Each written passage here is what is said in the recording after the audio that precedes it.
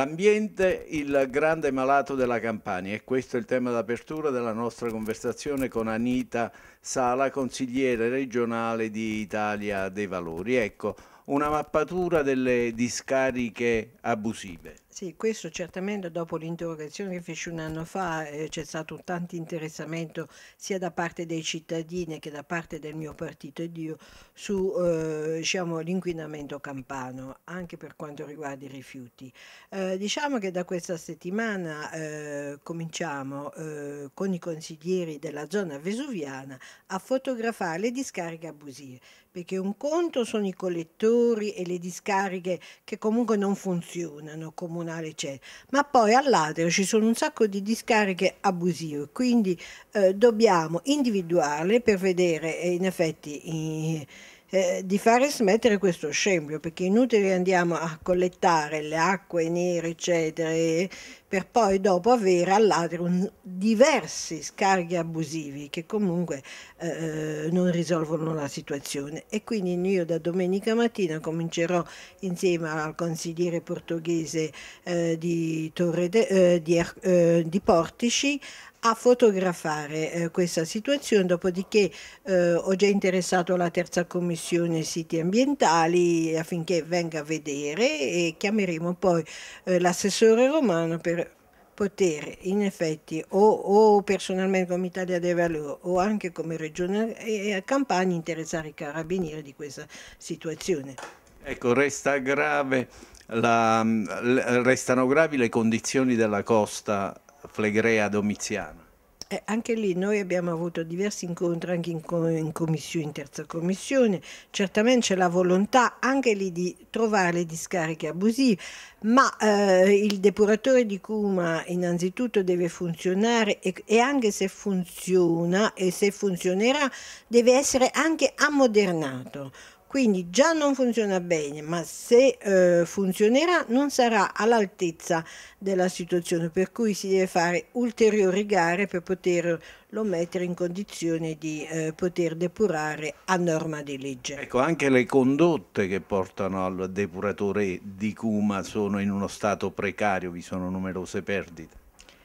Eh, non lo posso affermare così perché non le ho viste, ma eh, ne ho sentite. Però vi voglio dire che a Giuliano c'è un depuratore, e l'ho detto già un anno fa, che, eh, che non funziona. Eh, si sono spesi 18 miliardi, di vecchie lire 18 miliardi, ha funzionato sei mesi e, e sta lì fermo. Voglio dire, una visione. È vero che eh, stiamo facendo una mappatura, l'assessore romano comunque eh, sta eh, monitorando la campagna, però di opere non ne stiamo ancora vedendo. Anche il piano di bonifica che fra poco dovrà decollare non ha tutti i fondi per poter eh, svelenare il nostro territorio che è stato avvelenato eh, dalle fabbriche del nord.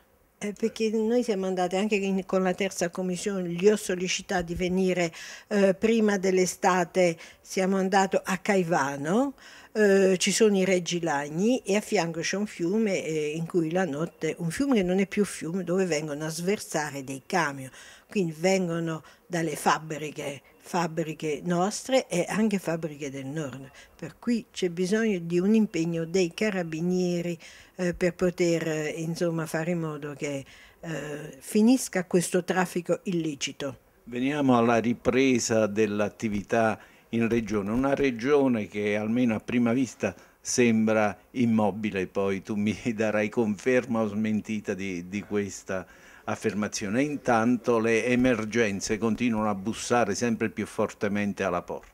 No, effettivamente eh, diciamo che gli uffici regionali sono ripresi il 27 agosto, io il 27 agosto sono venuta qui perché i problemi ci sono, però uh, un, Siamo una regione addormentata, noi le cose le vediamo sui giornali, magari la giunta si riunisce pure, però con grande sforzo qui si, si tenta di... Eh, cioè in questo momento diciamo si lavora con grande difficoltà e non si lavora affatto delle volte in commissione. Resta in piedi il caso Nunez. E lì eh, non voglio entrare nelle cose degli altri partiti, certamente la giunta deve essere anche composta, e lo ha detto anche il Tribunale, di figure femminili eh, questa mattina leggo che in effetti c'è un veto sulla Nunez che è stata vittima, cioè è vittima di... Eh, nella famiglia eh, c'è stata una vittima di Camorra, questo mi, mi stupisce perché anziché essere diciamo, una qualità da mettere in campo, così sapremo che perlomeno la malavita avrà, insomma, perlomeno nel suo assessorato, vita difficile, e, un veto per non farla diventare assessore mi stupisce molto. Mi aspetto che Caldoro prenda una giusta posizione. Sensibile da sempre alle istanze degli animalisti, resta il problema del randagismo come ovviare.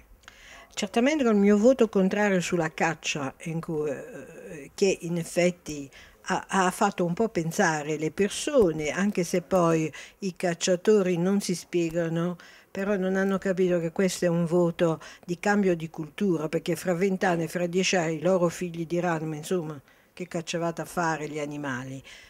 All'Adria c'è il problema del randagismo. Io ho incontrato diverse associazioni che si interessano volontariamente di animali, eh, avrò degli incontri e l'ho avuto anche precedentemente con la, l'allora assessore Amendolare per vedere di eh, inquadrare meglio questa situazione perché poi il randangismo eh, si sviluppa di più specialmente quando la sterilizzazione non viene fatta. In Regione Campania, su tanti animali che sono iscritti, cioè, se ne sterilizza solamente 5.000, parlo dei cani, all'anno, mi sembra una cifra veramente pochina, per cui il problema poi si accresce. E, poi vengono anche sterilizzati, però eh, farò anche delle visite ai canili, ecco perché mi appresto anche a vedere come eh, intervenire per poter eh, vedere se effettivamente poi nei canili gli animali sono eh, tenuti bene, perché mi risulta dai volontari che fanno tante cose eh, di tasca loro, devono persino tentare di adottare, infatti i cani napoletani vengono adottati al nord. E questo insomma ci fa pure riflettere che ci vuole una politica eh, differente per questi animali d'affezione. Una visita allora anche al rifugio La Fenice, un rifugio che non gode di alcun contributo pubblico e che sopravvive grazie all'impegno dei volontari. Adesso il comune di Napoli vuole sfrattare questo ah. e i cani e quindi anche quanti si prendono cura dei nostri amici a quattro zampe. E certamente verrò, eh, adesso me lo hai segnalato, certamente verrò a, a visitare questo canile e vedremo un po' se possiamo eh, sollecitare le persone che hanno le leve del comando affinché ci sia un'attenzione su questi animali che risolvono tante situazioni nelle famiglie e più di quello che noi pensiamo. Bene, buon lavoro a voi tutti, grazie per la cortese attenzione. Taccuino Politico della Campania, come sempre, tornerà domani alla stessa ora.